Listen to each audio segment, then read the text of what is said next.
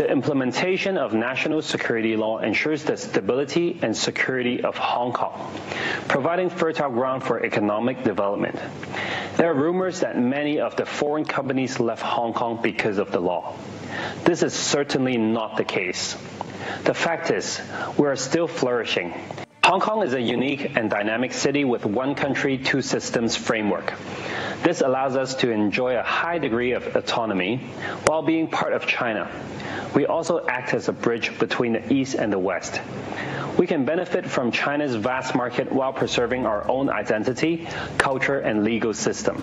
And we are still standing as the top five competitive economy in the world. Hong Kong is renowned for its global perspective and our vibrant civil society, where young people can pursue their dreams freely.